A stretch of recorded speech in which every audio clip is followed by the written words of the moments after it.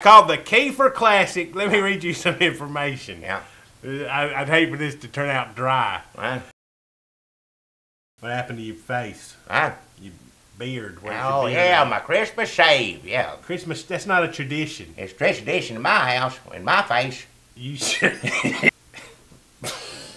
You're on night now, goddamn. Uh, Just shave on Christmas. Just look a little different. yeah, you look like weird face. Well, I don't look like weird face. I just You got a look little. exactly like weird I face. I get a little Billy Goat thing going on there. It's all right. Looks good.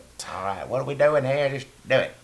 I, I, I think we're done. Oh no, wrestling. Yeah. Hey everybody, welcome to Red State Update. Today we're gonna talk about wrestling. Wrestling. That's right. We did a bunch of old Christmas stuff. Yeah. And you used to do politics stuff. Yeah. And now we're going to do wrestling, Wrestling stuff. Yes, we're gonna sir. do wrestling. We're moving. We're just gonna do wrestling commentary from now on. That's right. And if everybody wants us to come do some commentary for us, If you run in a wrestling federation and you got an airfare, we will come be in your wrestling federation. That's right, And yeah. you know some per diem. I, I'll show you a little, give you a little sample here, like wrestling going on. Watch this, right?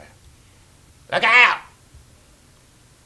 I don't know all the names right now, but I'd study it before I did it. I'd say so and so. Look out! You got Vordell Walker versus Bobby Sanford. Yeah, I'm looking at the flyer right here. Vordell Walker, he looks like a tough guy. yeah. Has an undecipherable tattoo on his arm. I So, always think tattoos look trashy on people, but they look all right on wrestlers.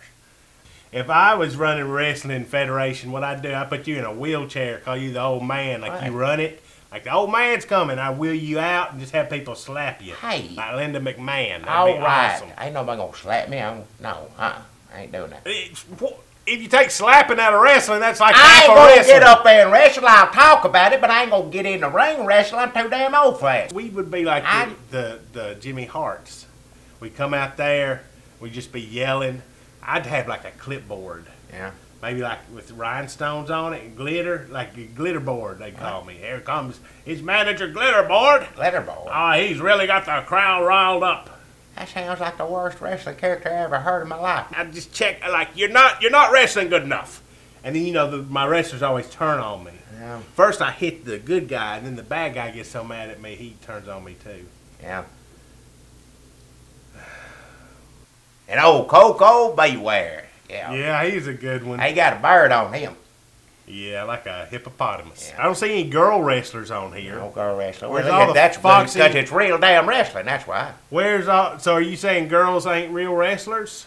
I Yeah. think Stacy Keibler would disagree with you. Do I have to say that out loud? I know exactly what I would do on my first appearance. I'd come down, or I'd be a bad guy. I'd come down and get the audience all mad at me and everybody yelling and hollering. Couple minutes when everybody's really mad, I'd turn face, and then people be like, "Oh, he's a good guy." And then all the bad guys come out, ah, kicking me and, and hitting me because they feel betrayed. Then I'd turn heel again.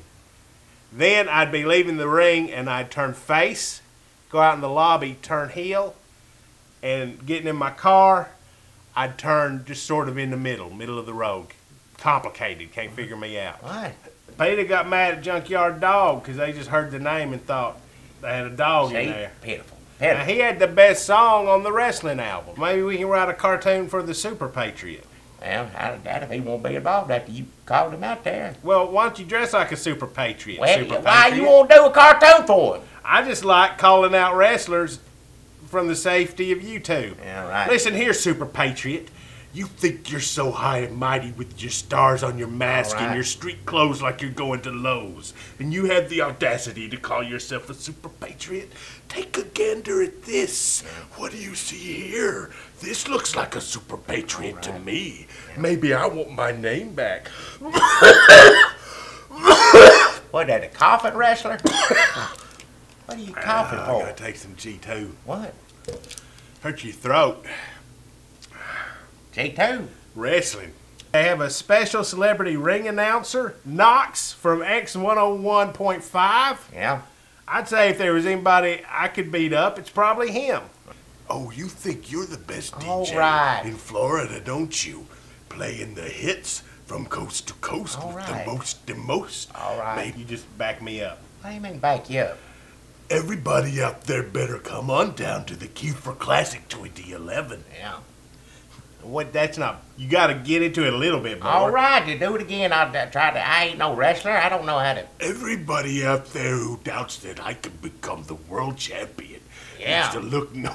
Yeah. What are you doing? I'm. You do it, and I'll say yeah to you. All right, your hand up. Everybody, down now. That ass here. I'm gonna whoop you. Wrestling. I'll get you in the ring, and it'll be two of us going in, and then me coming out.